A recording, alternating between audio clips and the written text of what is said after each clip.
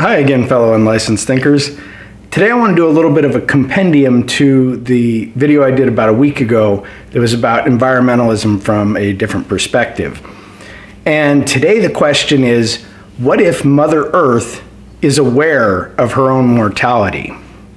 But before we do that, if you could hit the like button for me, it helps me out in the algorithm and I like being seen by more people. Right, thank you very much. So what if part of loving the earth is accepting that we are what she needs us to be? As in, she created us to be a certain thing.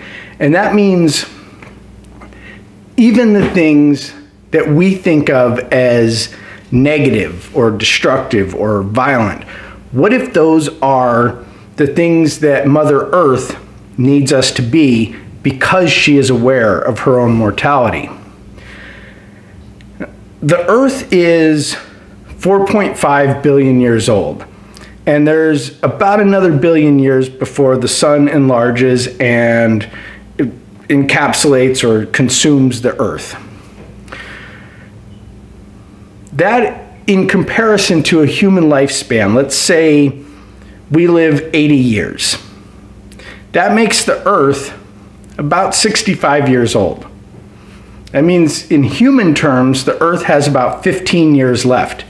So the Earth is past its middle age.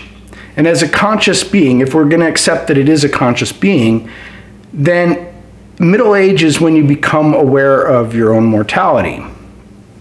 And the Earth has gone past that. The Earth has gone beyond middle age and is now seeing its death coming, seeing the end of its time in this universe. And it says, well, wait a minute. I need something to carry on my life. I haven't, as a planet, kind of reproduction would be a little bit different. So the earth says, well, I haven't been able to reproduce. I haven't been able to send my young out into the universe to continue my species, so to speak, to continue my life, my genes, whatever it might be.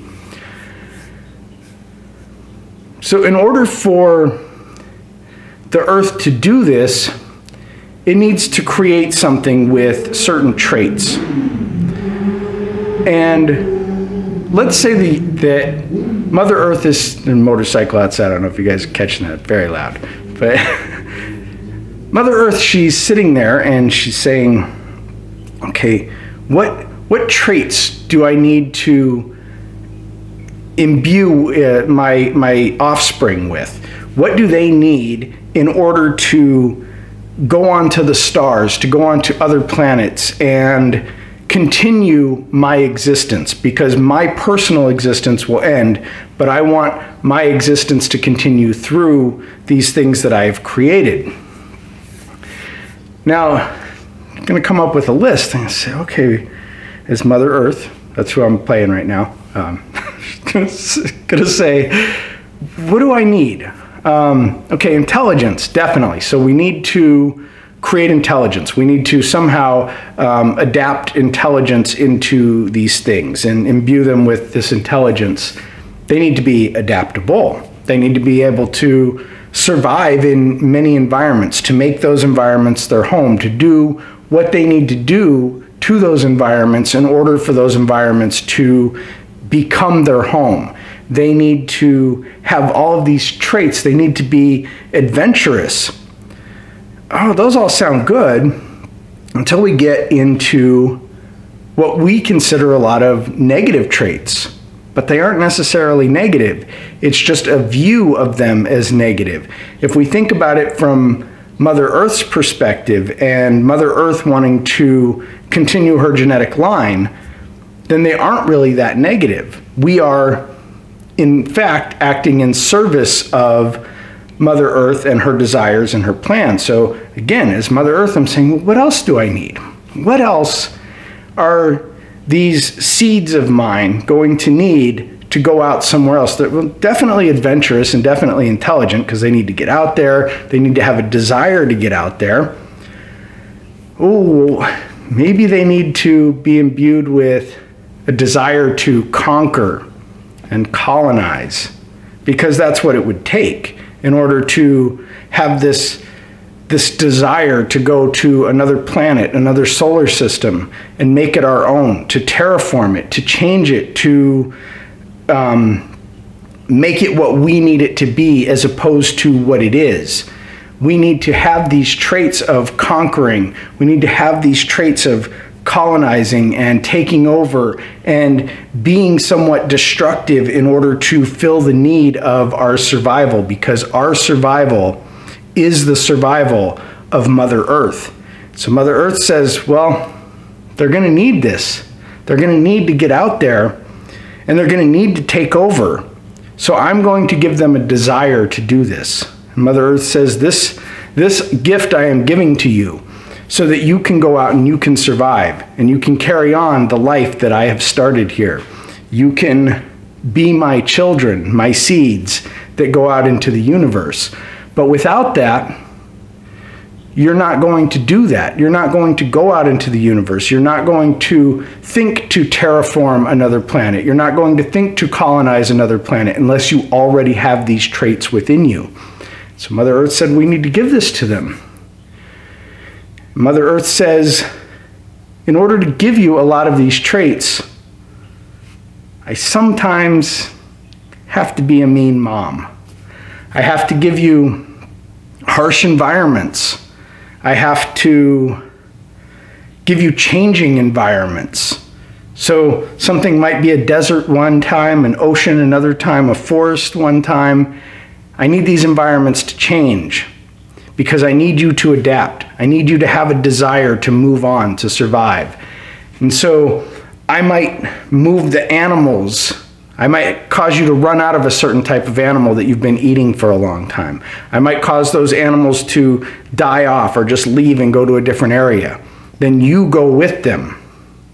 You find other animals that become your, your food. You find other plants that become your food as those go extinct. These are all traits. These are all things that you need to survive when you get go to other planets to carry the life that Mother Earth created.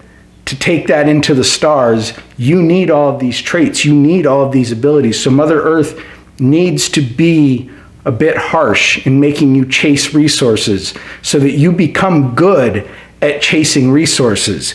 You become good at conquering. You become good at taking over. You become good at maybe destroying for your own needs, but then figuring out how to adapt to that destruction. So you are constantly adaptable, constantly intelligent, always figuring out new ways to survive. And that's what's going to help you when you go to another planet. Mother Earth also says, I could make everyone peaceful, but then they won't have any desire to go anywhere. If I make them peaceful, they will die off, either because others will come in that are not peaceful and conquer them and kill them, or because they simply don't do anything. They're too peaceful, they're too docile. And if they're too peaceful and docile, they're not going to leave. They're not going to conquer other planets. They're not going to take the life that I created as Mother Earth and send it off into the stars. And my buddy here is being very insistent on having my lap today. so, another thing Mother Earth does is says, well, I have to sacrifice some of myself in order to provide this and instill this in my offspring.